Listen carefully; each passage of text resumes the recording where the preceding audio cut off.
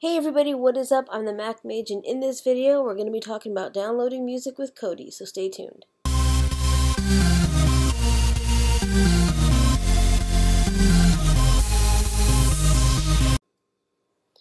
So I found an add-on that is kind of an older add-on but it does the same thing nonetheless. It allows you to download music and um, by either by album or by the song and it is called mp3 streams. Now again this is an older add-on. It's been around for at least a couple years now.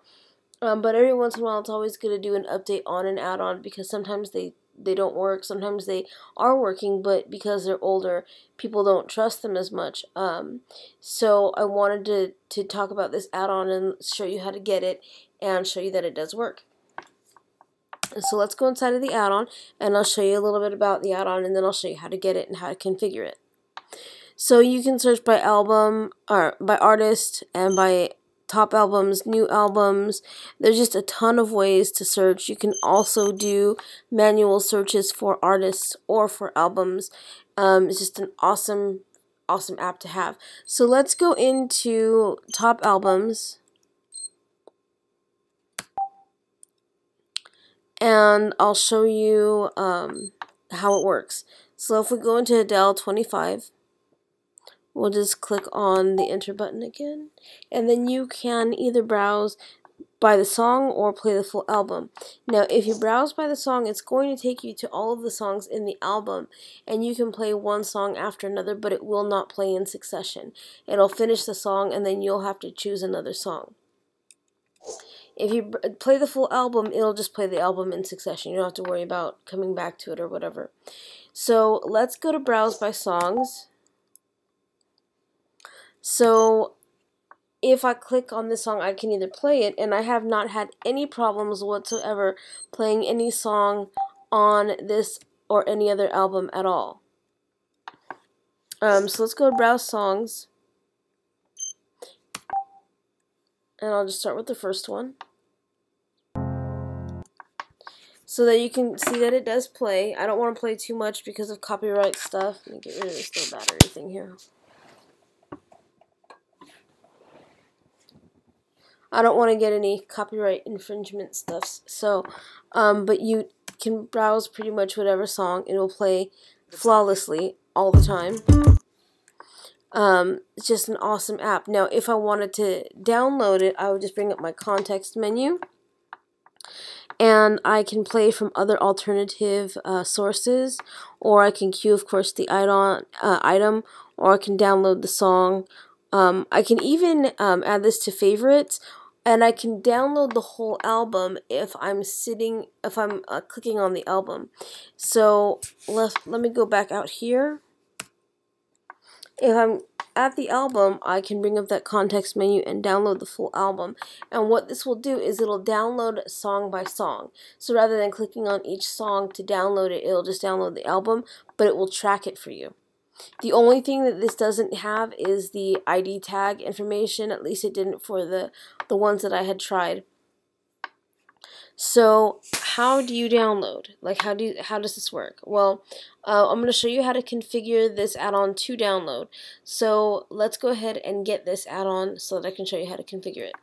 So if you already, if you have either uh, installed your Kodi with the Fusion Wizard or you installed with me the first time Kodi, you should have uh, this repository already.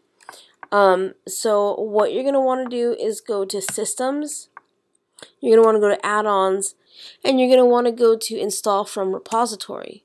So when you go to add-on repository, you want Kinkins repo. So go ahead and click on that. And then you're going to want to click on music add-ons and then of course it's right here. You're going to want to click on this to install it.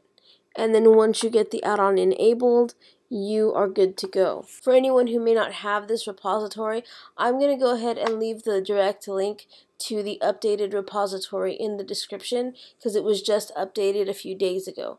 So I'm going to go ahead and leave that link in the description so you guys can install it.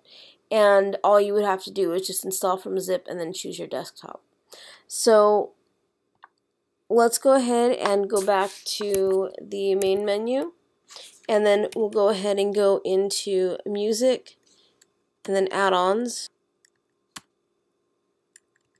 And then we'll go to mp3 streams and then we're going to click on the context menu. So C or long hold or uh, right click and we'll click on add-on settings. You want to make sure that your settings look pretty much like mine do except for here is where you will click to have a custom music directory. Now what I have chosen to do is I've chosen to use my desktop. Now the reason that I've chosen to use my desktop is because even though I have a designated folder for music, I always like to uh, add my ID3 tags and all that kind of stuff before I put it in my music folder or before I put it into my iTunes. So what you're going to do is just click here and then you'll click wherever you want to start it from. Just click desktop and then if you just want it on your desktop, click OK. And then the other thing that you're going to want to configure is how the folders show up.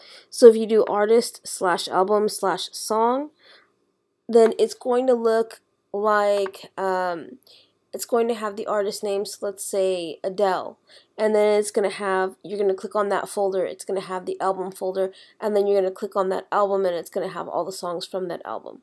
So, um, or if you do it this way, it'll say, like, let's say Adele hyphen 25, and then you'll click on that folder, and all the songs will be there, instead of having the extra folder. So, I just choose to do it this way. I can always change it if I wanted to, so... Once that's done, click OK and you're all set to download. So if we were to go in here and download something, let's say, so I'm just going to go to the top albums again and then I will show you how to download this Adele album. So I'll just bring up the context menu and then I could download the album just like that and it will continuously download songs. It won't stop until the whole album is downloaded. And that's pretty much all there is to it. So, I hope you guys enjoyed this video. If you have any questions, please leave them in the comment section and I'll get back to you as soon as I can. Again, the link for Kinkin's repo, the direct link, meaning it'll start downloading right away, it will be in the description. If you guys did enjoy this video, please consider subscribing to my channel. It would really help me out a lot. Also, a thumbs up and a share would be great too. And I will catch you in the next one. Thank you guys for watching. Bye.